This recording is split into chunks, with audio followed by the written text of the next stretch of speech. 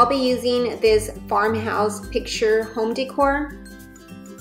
And I'll also be using the Tumbling Tower game blocks, a total of 64 pieces. Some large popsicle sticks, a paintbrush, some Rust-Oleum 2X Ultra Cover Paint and Primer in the color Blossom White. Also some acrylic matte paint in the color Pewter Gray. And last but not least, my glue gun. Okay, I'm to start by removing all the wrapping of this picture decor. And then I'm to go ahead and take out all the backing and the glass and also the paper picture. And then once I'm done doing that, I'm gonna go ahead and start arranging my blocks and how I want to hot glue them around the picture frame. There is a total of 36 pieces per box. Now I'm gonna start off with this one box and then I'm gonna open up the additional box and I'm only gonna use 28 pieces from the second box. Now what I'm going to do now is I'm going to arrange my blocks around my frame and there is a particular way that I need to place them before that I hot glue them. On the right side corner I have a bit of an overhang as I'm showing you right there and on the left side it is flush to my frame. On the left side I'm going to place my block all the way to the top. It needs to be framed this way, that way you don't have to do no cutting on the blocks. It'll fit perfectly all around the frame. I'm going to continue placing my blocks and then when I'm done, I'll start hot gluing them.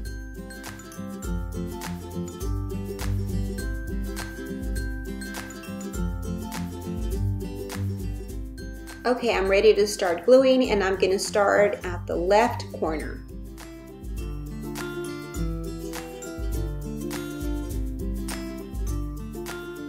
I started hot gluing it this way, but I soon found out that it was easier just to pick up my frame and start hot gluing it along the way, but with the frame standing up.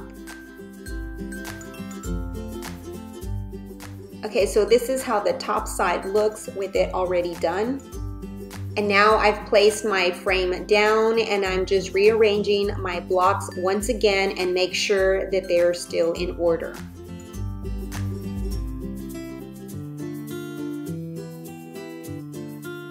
And now I'm going to start on the left side and I'm going to start hot gluing the blocks.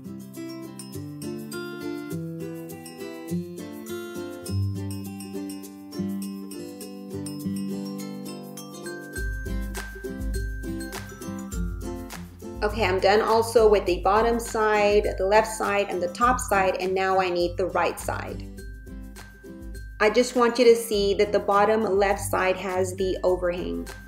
And now I'm going to start adding the blocks to the right side.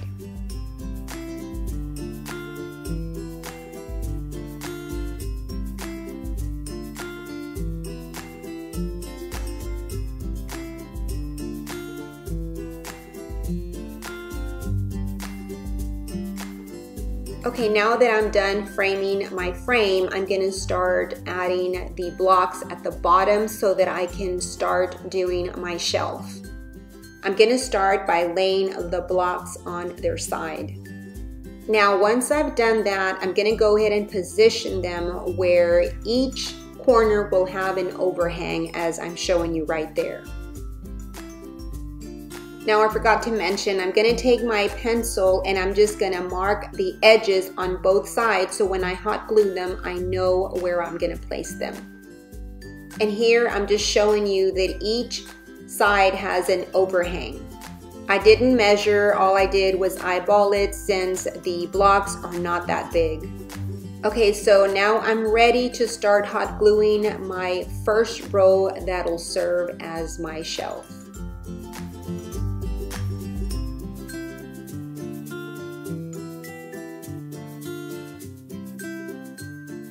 Okay, here I'm just showing you what it looks like and as I turn it around you can see how it is starting to take shape and I'll just continue adding the blocks until I come to the end.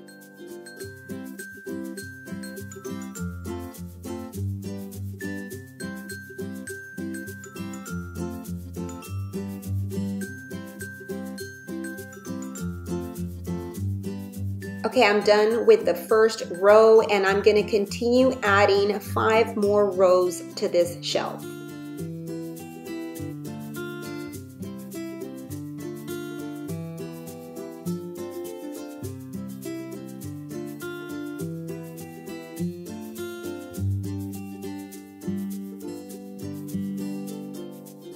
Okay, so I'm done adding all the rows and there is a total of six rows.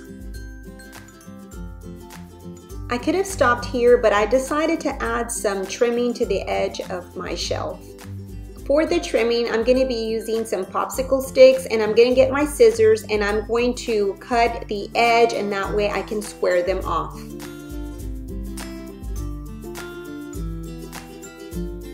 Okay, so now that I've cut all my popsicle sticks, I'm ready to start hot gluing the trimming.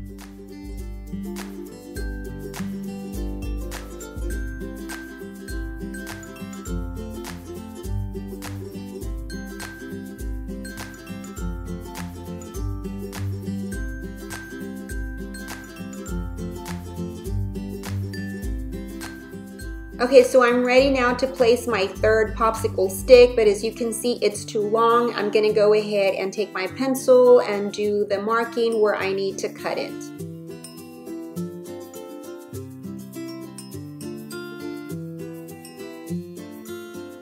And now moving on to both sides, I'll be doing the same thing, measuring and then cutting and hot gluing. Okay, so now I am done and I've already added all my trimming and what I've done is I've also put some popsicle sticks at the bottom of the shelf just to give it some reinforcement. Since it is going to serve as a shelf, it needs to be pretty sturdy. I've also put some popsicle sticks in the back side just to reinforce all the blocks that are all glued together. Okay, so now my project is ready for me to go and spray paint it. So I'm gonna take it outside and do that, and then I will bring it inside once the paint is dry and we'll finish off this project. Okay, so three hours later and my paint is completely dry. And now what I'm gonna do is I'm going to add some gray paint to make it look rustic and distressed. Okay, so I'm gonna start by adding a little bit of that gray paint to my paintbrush like this. And the key is to put very little paint and start brushing it on very lightly.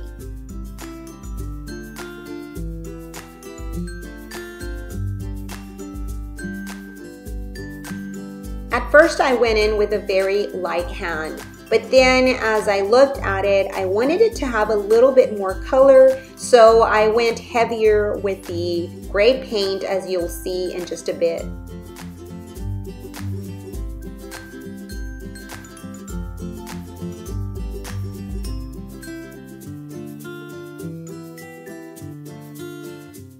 Okay, I'm done giving it that distressed look and now I'm gonna let it dry before I put my picture and my glass back on. Okay, now that the paint is dry, I'll be adding everything back in its place. Okay, beauties, my Dollar Tree picture frame with shelf is complete. I do have to say that it did take some time. Adding all those little blocks was work. But I really do think that the outcome turned out really nice. Now with this DIY, you can hang it on a wall or you can also sit it on a tabletop. At this point, I'm not really sure if I'm going to hang it or just put it on a table, but I knew when I saw this picture at Dollar Tree that I had to have it. I absolutely love the farmhouse picture. I just thought that the frame that it had was just too small. So I wanted to do something special with it and this is what I came up with. Okay beauties, well that is it for this Dollar Tree DIY. I hope that you enjoyed it. If you did, please give it a thumbs up and also share. I'd really appreciate it. You have yourself a blessed day and I will see you on my next video. So until then, bye-bye and God bless.